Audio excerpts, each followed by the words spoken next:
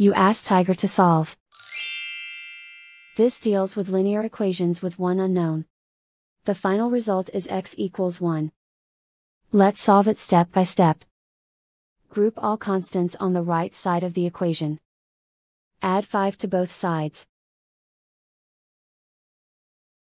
Simplify the arithmetic.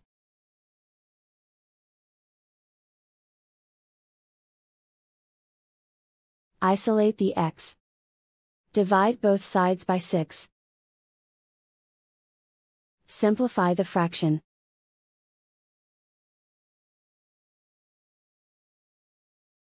And so the final result is x equals 1.